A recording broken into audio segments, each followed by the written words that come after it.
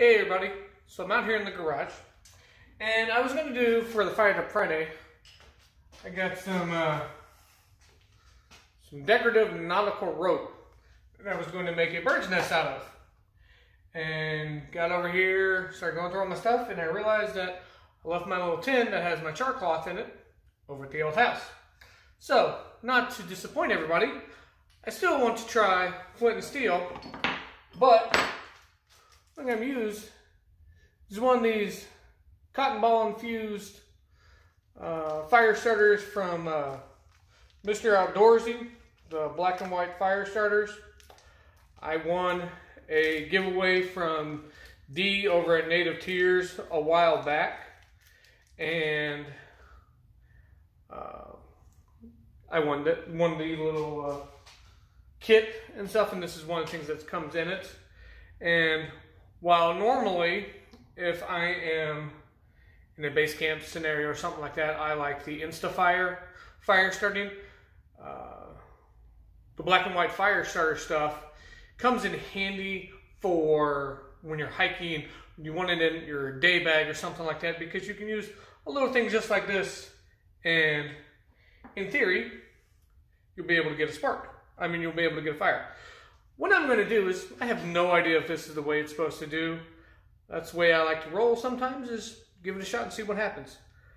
With char cloth, based on everybody's uh, information and stuff like that, you want to lay it on top of your flint.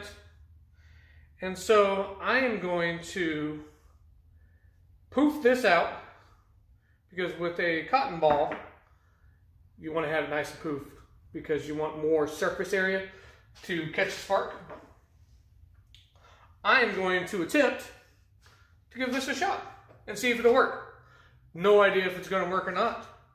Thought I'd bring you guys along to see. So here we go.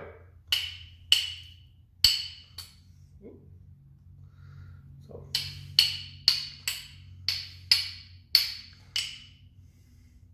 It's way harder than it looks. Now I'm going to try it underneath because when I'm doing the sparks, and I might be doing it wrong, it's shooting the sparks down. So I'm wondering if maybe it can catch in there.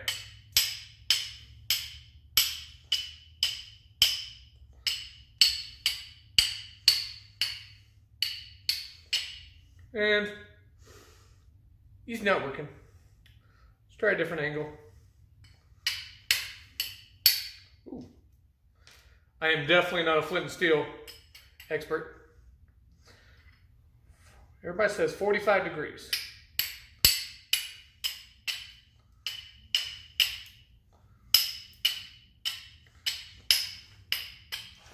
I'm getting sparks, but just none of them are catching on here. So, you know, it is what it is. But because this is Friday, and we always gotta have some sort of how you like my messy uh, my messy desk here and to show how these uh, fire starters work. Uh, let's see, what do I got laying around here? Hmm. All my ferro rods and stuff like that are inside. So what I'll use is, I got these off of, uh, I think it was off Wish. And they're like the uh, everlasting fire starters or blast matches or whatever you want to call them. You know, you get what you get. You get what you pay for with these things. They're like a dollar, I think, for like two. So what I'm going to do with this is going to try the same principle. There's no fluid in this, so this is completely dry. But I wonder if I can strike it along the the ferro rod that's in here. Just a little closer, a little more light. There's a ferro rod uh, in here, flint and see if it'll strike on it. Ooh, yep. Ooh, hot. so, it is a Fired Up Friday. Uh, wax infused cotton ball. And so, just wanted to add this in real quick.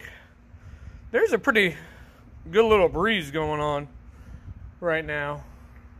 And as you can see, that cotton ball is going real good.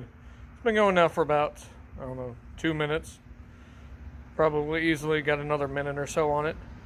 They uh, definitely are good at uh, staying lit even in uh, windy conditions and stuff like that. It did not work with the flint and steel.